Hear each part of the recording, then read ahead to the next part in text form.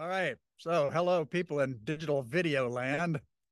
Uh, and, and thanks for the heroic efforts with the JPEGs from Hong Kong.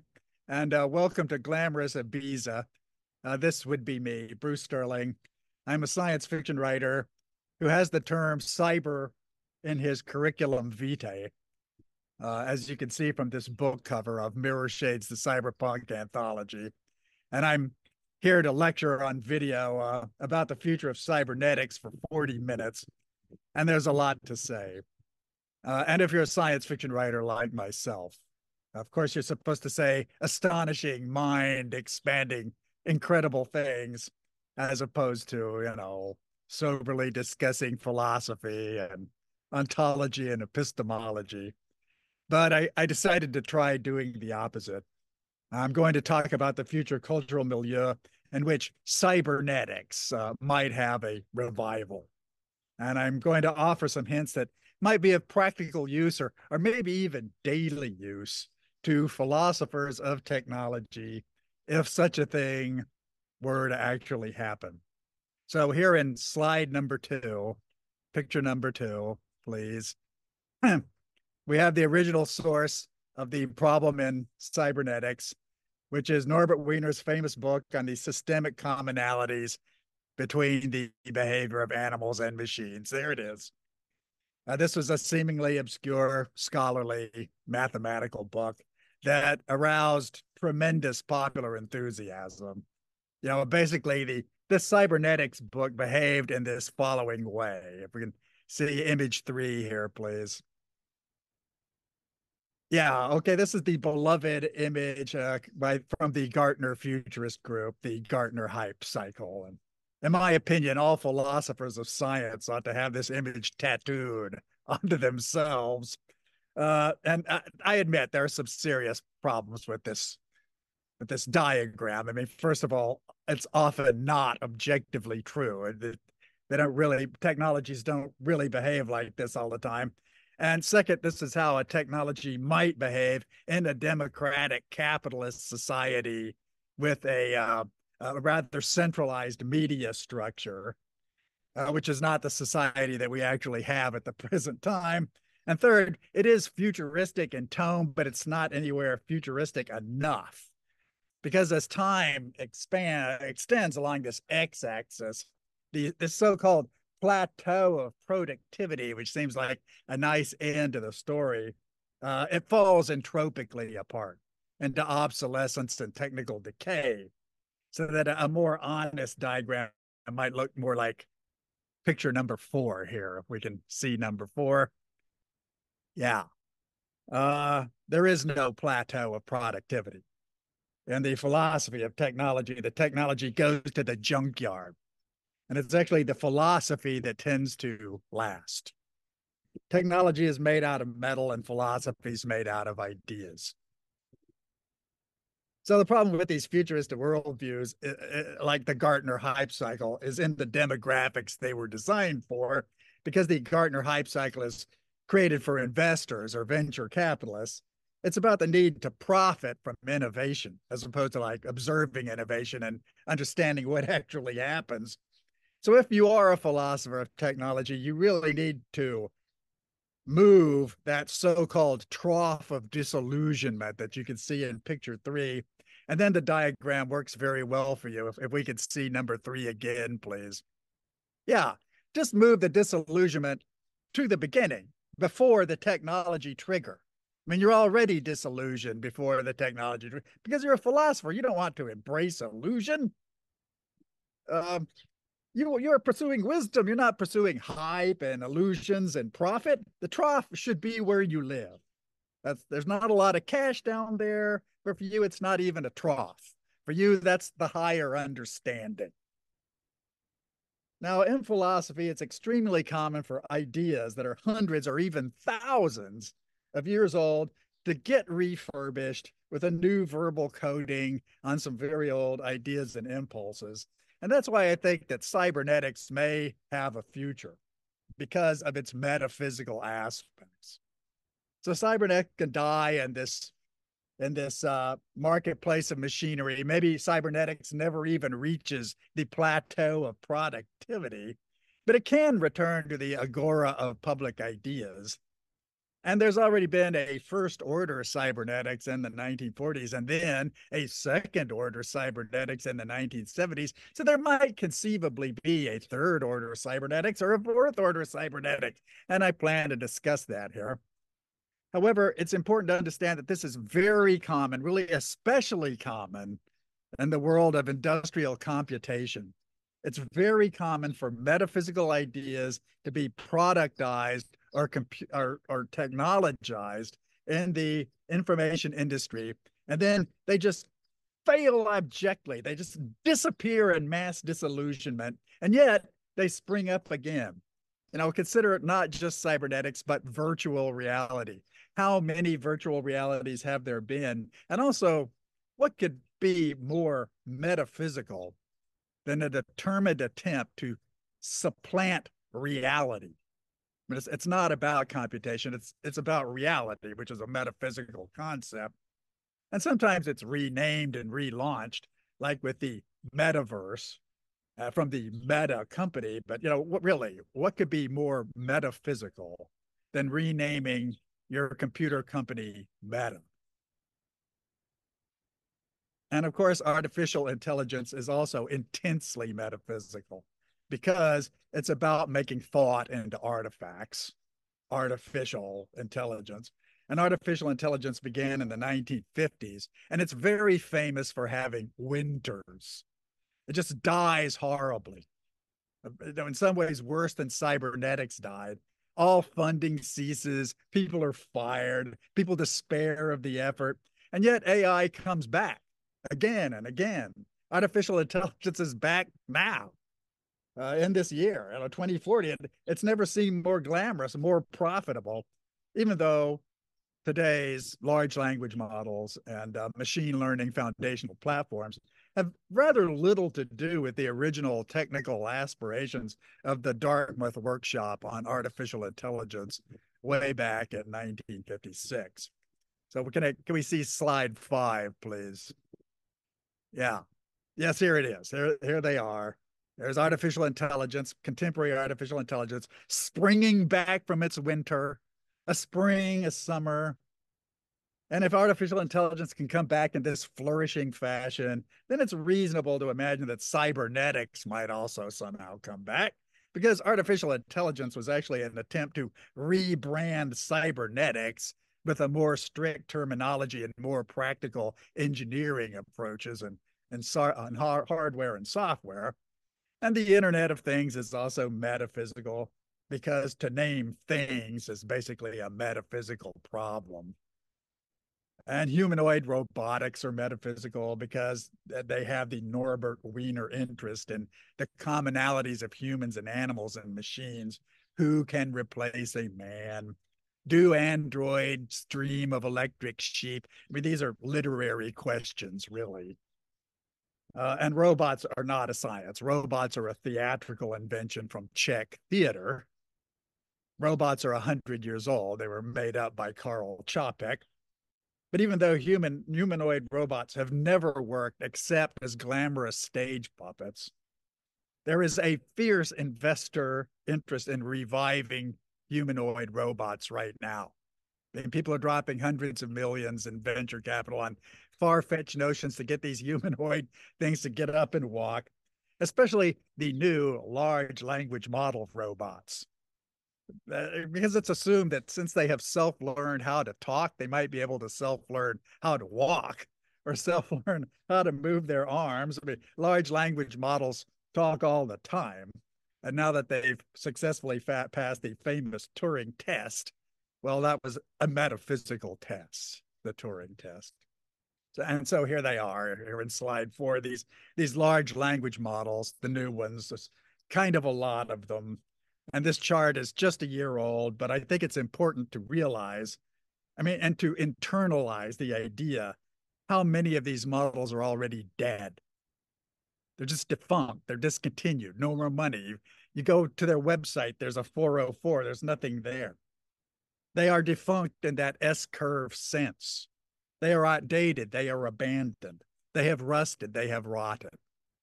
In just a, a few years, months, really. So artificial intelligence as a metaphysical concept never seems to die, but artificial intelligences as actual functional artifacts are extremely frail and imperiled. 50 or 60 years of historical artificial intelligence models, hardware and software, is being annihilated across the board as we speak you know, people like to compare machines and animals. That was the original point of cybernetics as a field of interest, trying to find some systemic commonalities there. But these huge, expensive machines are not like animals. They, they have the lifespans of small mice. And the greatest success of this modern large language model AI means the mass extinction of traditional AI every AI that ever acted like an animal before is just gone. They're they're they're annihilated. It's a, a it's a great extinction of previous AIs, and, and, this is quite a melancholy story. I mean, it's a, a difficult thing to realize. And uh, at this point, I I have to veer from my technical presentation, uh, because yes, I I am a novelist. Whenever novelists show up among scientists, uh, or technicians or engineers or programmers or venture capitalists even the novelists commonly have one truly useful thing to say which is the human condition is tragic the human condition is tragic you know and philosophers commonly get it about that tragedy i mean that's not a surprising thing for novelists to say to philosophers However, among cyberneticians, there's this pervasive urge to escape or, or transcend the human condition because that seems sensible. Because, with a cybernetic perspective, if machines are like animals and we can engineer machines, then we can engineer animals. We can engineer people. And we can engineer the living institutions of people, such as cities or institutions or national political arrangements. Now, historically, cybernetics arose in the direct wake of World War II, where there had been a deeply tragic mass slaughter of humanity, and the atomic bomb hovered over the battlefield and the civilian cities. And the people in cybernetics had somehow survived that very serious war. And many of them were veterans of military or espionage work for the victorious Allied powers. Uh, so, you know, to speak as a novelist, what were these human stories of these original titans of cybernetics version one? I mean, the, the tragic human condition of these famous technical people, such as Norbert Wiener in picture number six, please. Yes, that's Norbert Wiener's book there. And there's Norbert uh, with one of his favorite cybernetic devices. Or Warren or John von Neumann, picture seven. There's von Neumann with a device. Warren McCulloch, picture number eight. There's Warren, the rebel genius. Heinz von Förster, picture number nine. Yes, there's Heinz with the device. He's very cybernetic. Ross Ashby, Dr. Ross Ashby. Handsome fellow, very nice machine there. Gray Walter, Gray Walter, the neurophysiologist and machine maker, very handsome fellow. Walter Pitts, absolutely the most tragic figure in cybernetics. It, it's incredible how maladjusted this poor fellow was. Uh, Margaret Mead, the only woman in the group, the very charismatic and compelling Margaret Mead, and Gregory Bateson, there were others, but these are the figures who remain somewhat famous today. And I have to tell you that their human fates were not pretty. So if you were telling yourself as you watch this video, well, I, I want to become cybernetic. I, I want to live like the the people of cybernetics volume one they, they were they were full of brilliance and brio and, and intellectual invention and and they were but this is the tragic lifestyle that you are asking for uh, norbert wiener he was an extremely intelligent man, but he was quite a dour and suspicious person who felt betrayed by his friends and colleagues in cybernetics. And he cut ties with them socially and he abandoned them and he died in exile. And John von Neumann was just a searingly brilliant computer scientist, just there at the very beginning. Uh, but he was obsessed with nuclear weapons rather than computation. And John von Neumann died young of metastatic cancer because of all the atomic bomb tests he had personally arranged and personally witnessed. And in his final days on his deathbed, he was quite demented from brain cancer.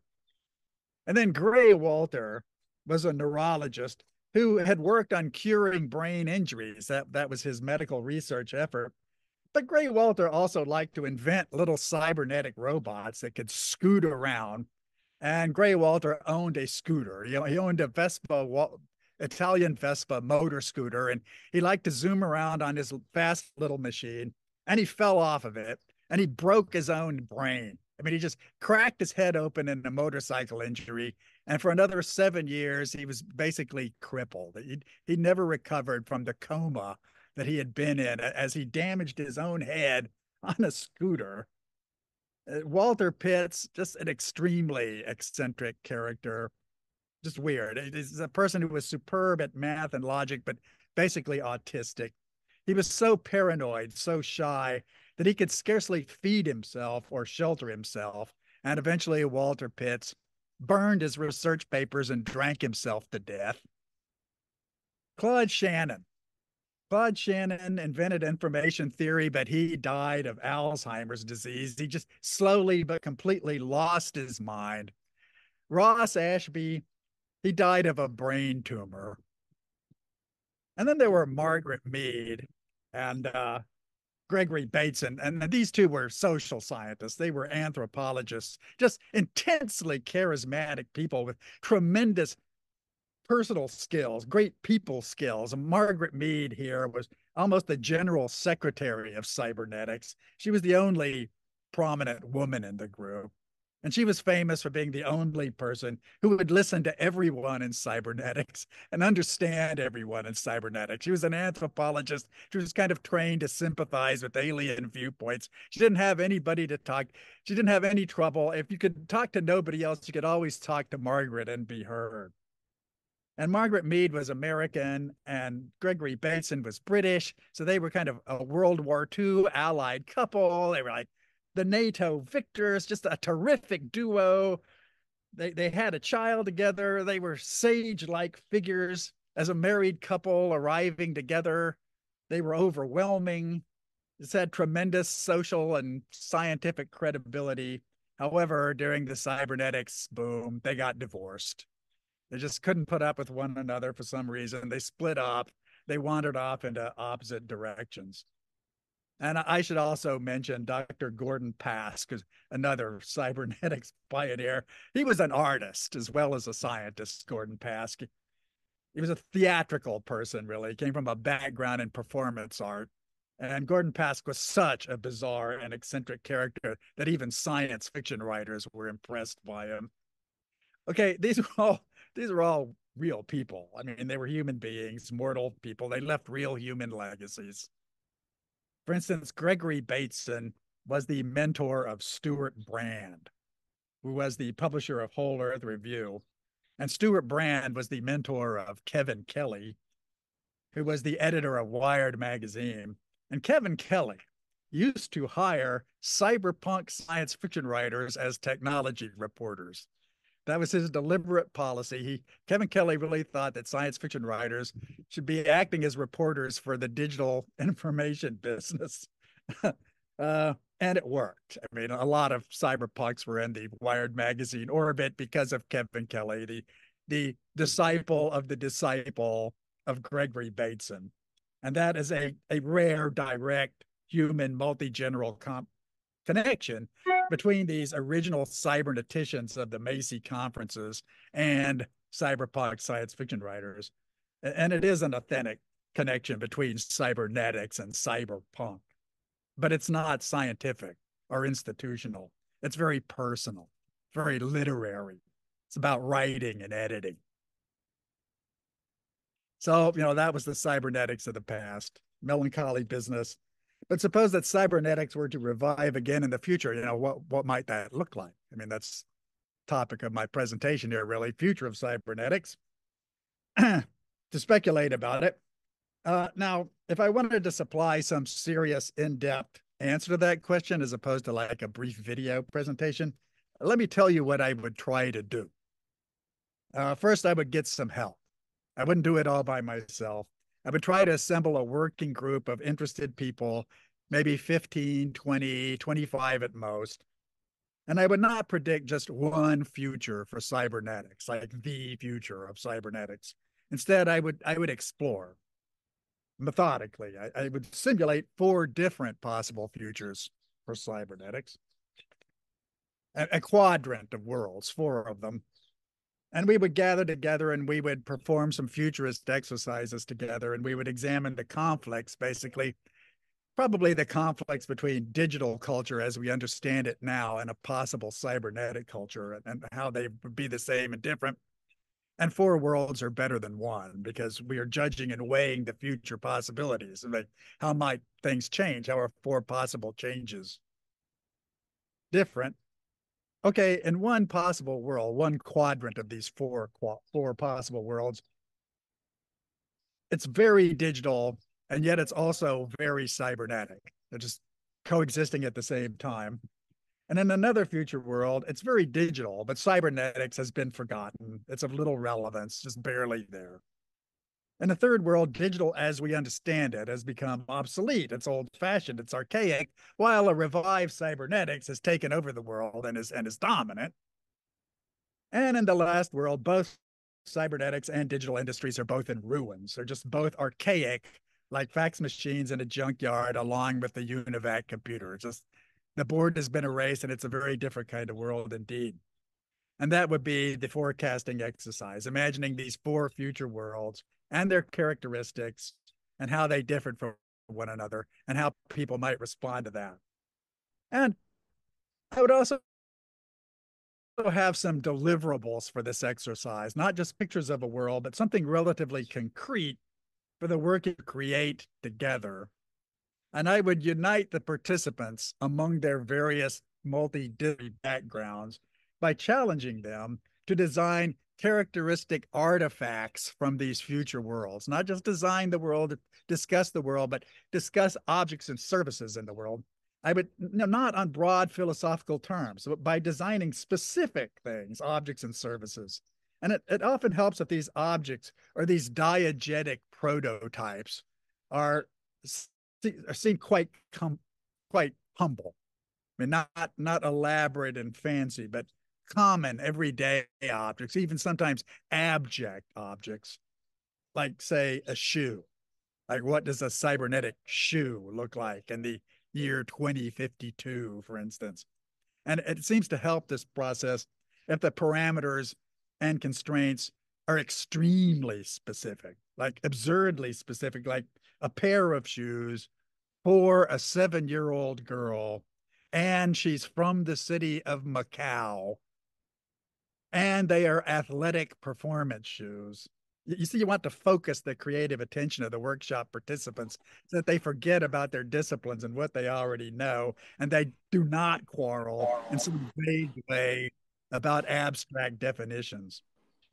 And to do that, I would use the techniques which are described in this book, the Manual of Design Fiction, which is picture 16 here. The Manual of Design Fiction, second printing, paperback. Uh, this is a big book, the manual design fiction. I don't have time to describe it or all the hijinks going on in there, but I would strongly recommend it to philosophers of technology. I think you'd find it full of useful and practical knowledge and surprises. And I'm a novelist, but I, I found these design fiction techniques to be very useful in my creative practice. So we might ask if there was a future cybernetic world, you know, the, the world, the future world of cybernetics 3, what kind of objects and services might appear in there? And if I had enough time, I might personally invent some. Uh, because I'm a science fiction writer, I like to have props and gadgets in my stories. But instead, I'll just trouble you with this design school diagram. Uh, next slide there, please.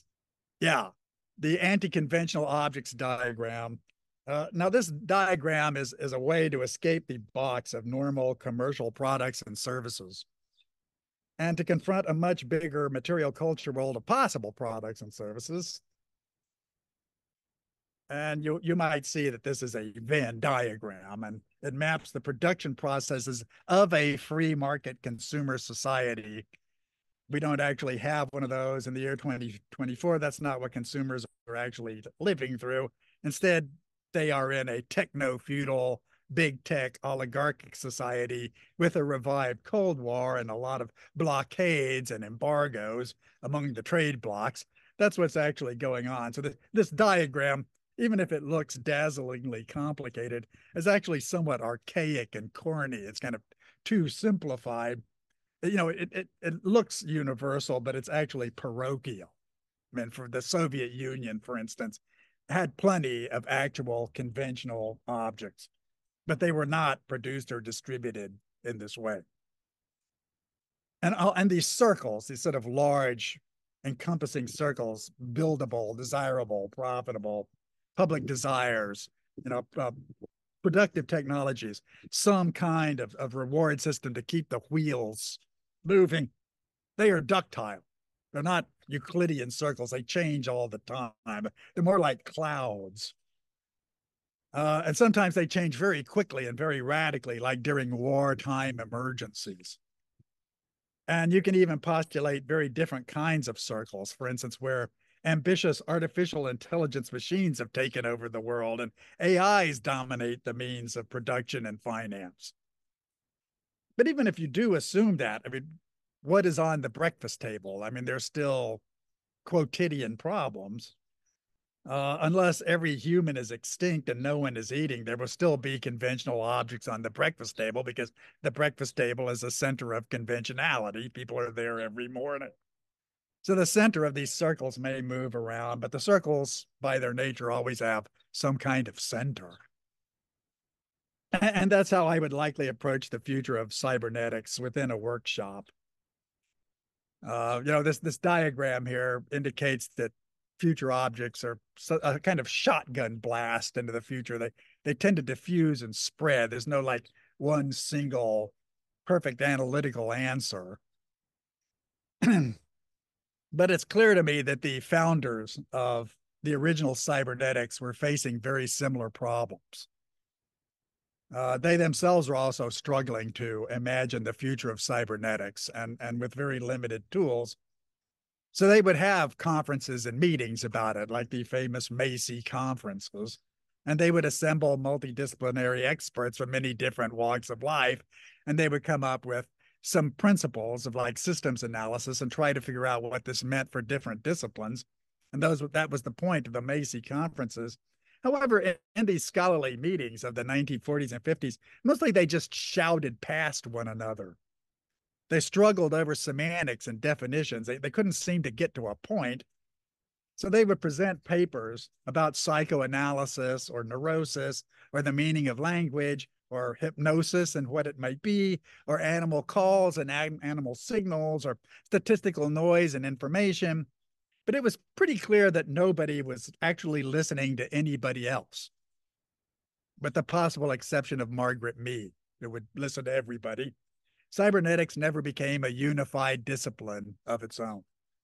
It was a conference of disciplines where people mostly discussed speculative ideas.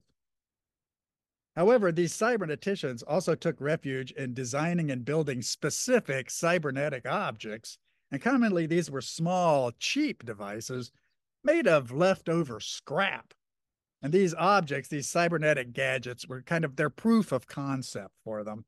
And also, these objects could really focus public attention. And I still find these very remarkable, like number 17 here, the Norbert Wiener Palomilla moth device.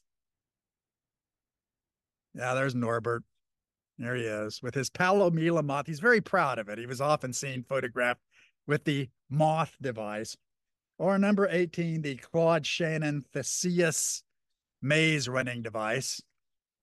Yes, Claude, the master of information theory, he was very interested in how animals could behave and get through through through labyrinths. That was a very common psychological study. Put an animal in a labyrinth, see how it behaves to this definite challenge. So he built a mechanized electronic mouse called Theseus.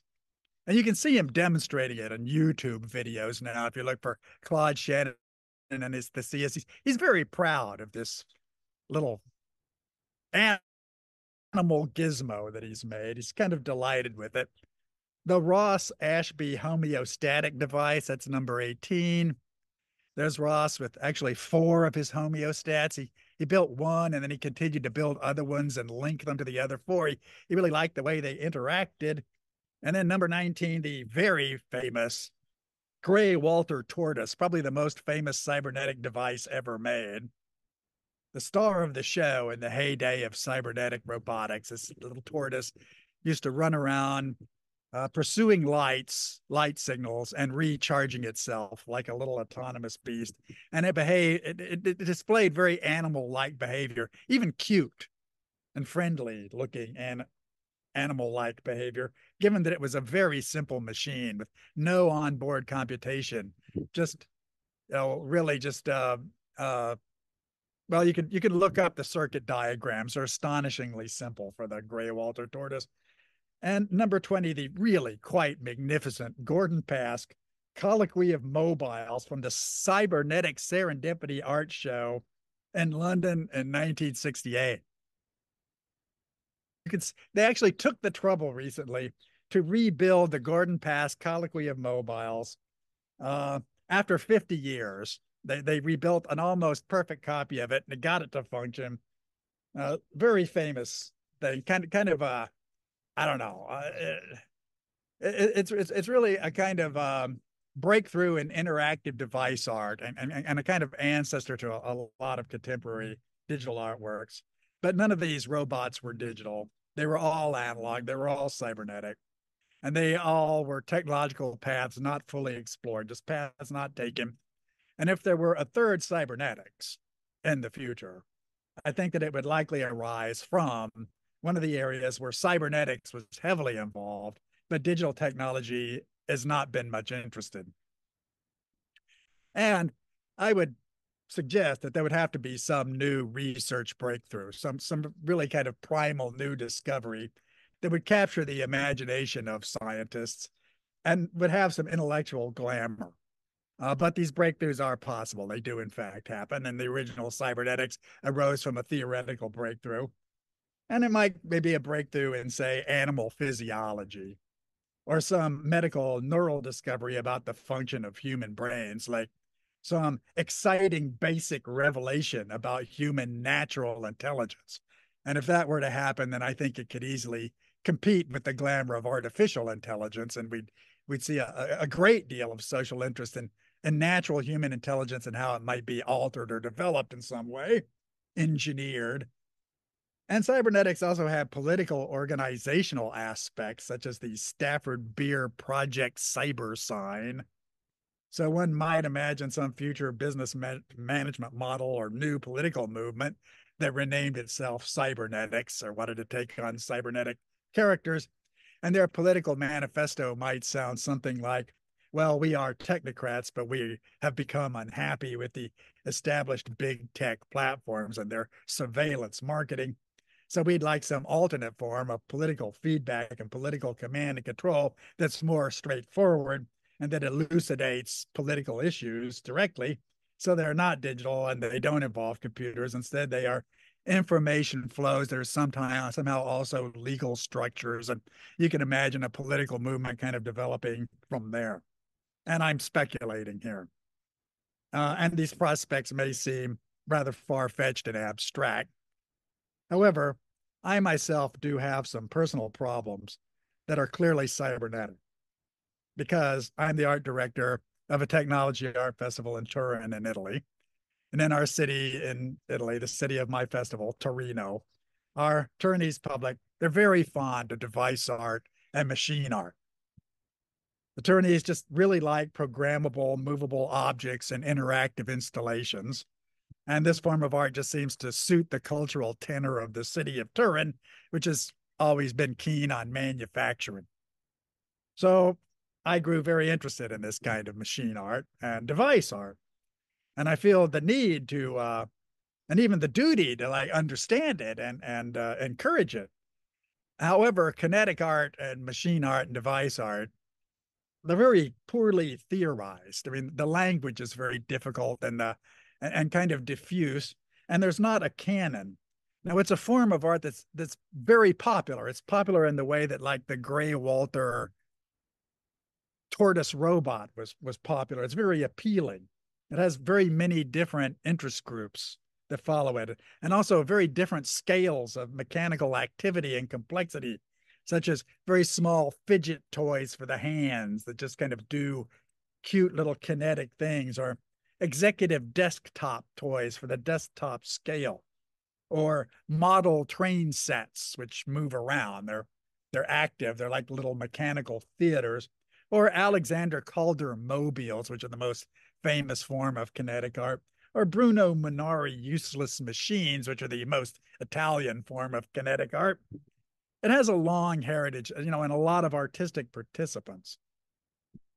And also, many cyberneticians had these little pet machines of some kind. They were struggling to prove something publicly by building these one off devices that could orient themselves in time and space and manage somehow to stabilize elaborate processes in elegant ways. And you know, clearly that's a cybernetic issue. And I've spent a lot of time trying to understand this myself. I mean, occasionally I write about it. Mostly I just research it and think about it. I, for instance, I've argued in the past that robots as a category are science fiction theater. They're theatrical objects. And re- robots basically impress us because they are puppets that resemble us. And our, our, our fondness for robots actually gets in the way of some more advanced technical scientific understanding of what it might really mean to have autonomous machines with multiple degrees of freedom that can maneuver in three-dimensional space. And I, I struggle to understand how you might do this well, you know, in like a genuinely appealing way, you know, an aesthetic problem. You know, and, and, and aesthetics is metaphysics. You can't really have an aesthetics without a metaphysics. So I'm concerned with the aesthetics of the systemic commonalities of machines and animals. And, and, and that's very clearly basically a cybernetic problem. That's, I mean, to understand kinetic art or to attempt to understand kinetic art is, is very much in the cybernetics camp.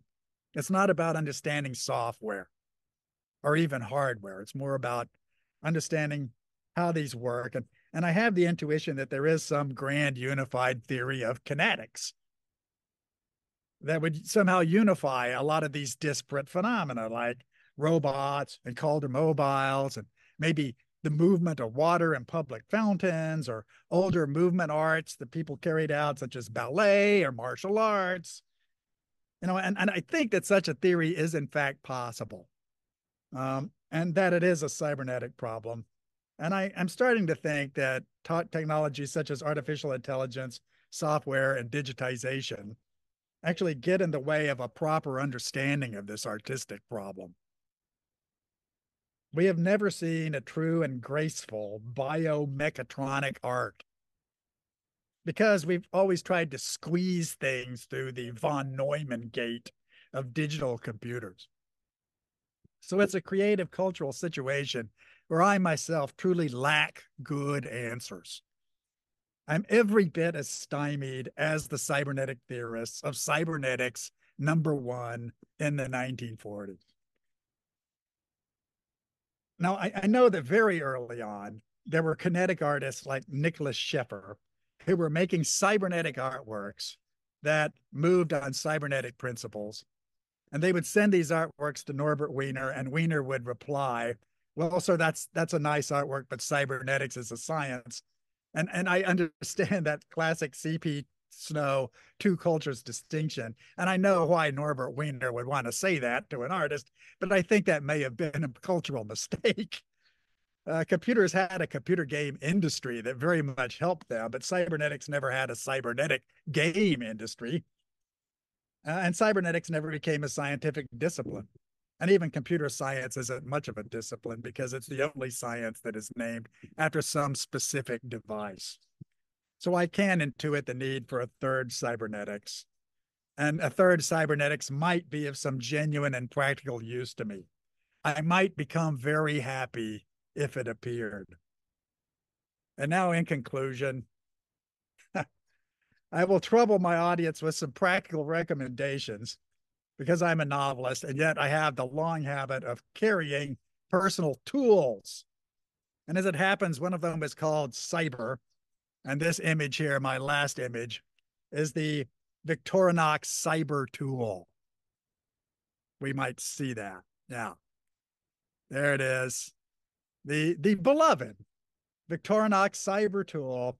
As you can see, this is an analog multi-tool for someone who has computer interests or cyber interests. These cyber tools were first introduced into the market in the year 2000. So for most of the 21st century, I made a habit of lugging one of these around. And they were named cyber because they were, had specialized bits, these and the little plastic holder there and the, the bit driver, screwdriver.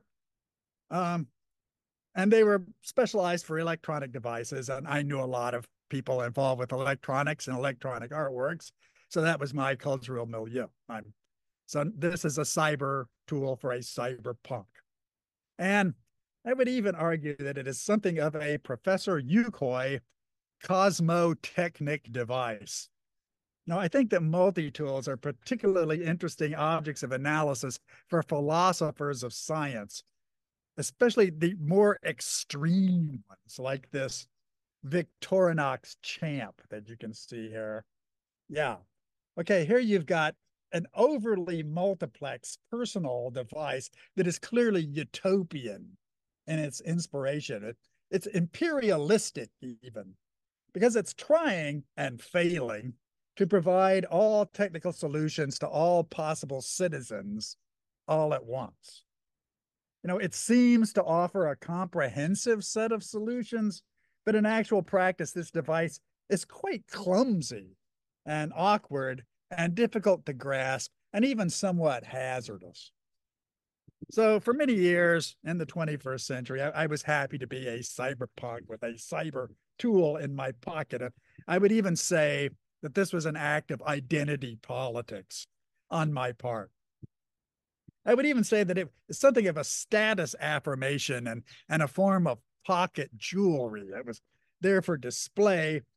But then I realized that the cyber tool was two decades old and that some of the earlier models had become obsolete and were no longer produced, and that multi tool evolution had continued in different directions, such as the Leatherman Arc, which comes in an entire kit and then has even more bits than the than the Victorinox uh, uh, uh, champ, except they're in a little assembled structure that you kind of strap to your body. Or the work champ, which I, I actually use most of the time here in Ibiza because it's more functional. It's kind of concentrated on construction work and doesn't pretend to have any digital tie-ins whatsoever. And I've even been known to carry actual knives and actual pliers, which are relatively simple and effective and not so dazzlingly ideological as these very peculiar multi tools, which are, which are very much of our era and kind of products of the Cold War. And I would I would point out that multi-tools are really not much good for actual functional engineers or construction tradespeople. They're simply not big enough. They're awkward. They lack efficiency. They lack mechanical accuracy. However, they're extremely good tools for critics and analysts because they're a set of keys, of, of levers into the technological environment they're kind of mobile. You can do a great many different things with them. You kind of never run out of analytical objects. And they're quite good, not at constructing machines, but at deconstructing machines. They're, actually good for dissection, for pulling things apart if you don't know what they're for. So they're not particularly good for business, but they're great for cultural analysis of technology. So I stopped carrying merely one. And these days I carry a wide variety of multi-tools. I, I tend to stockpile them. Sometimes I carry three or four different ones at the same time because I've understand I've come to understand the very different kinds of ways that people can relate to machines. And Norbert Wiener once said that learning was the highest form of feedback. And if you carry a technological interface, you will learn to interface with technology and kind of feedback with it and through it, and not with the digital methods of a cell phone and its too many apps, but in the analog methods of an analog analytical tool. So if you are a professor, a, a, a, philosopher of technology, I would urge you to make a habit and to make a moral virtue even of carrying a technological interface with you. Do not restrict yourself to cyber nostalgia. Be willing to use entire sets of tools, be a multi-tool kind of scholar, acquaint yourself with them, including the varieties which are no longer manufactured and have gone out of service. Those are, in fact, a, a special historical interest. And I, I, really believe you will do very well by that practice. And it will prepare you for the future in a way that very few other simple things can.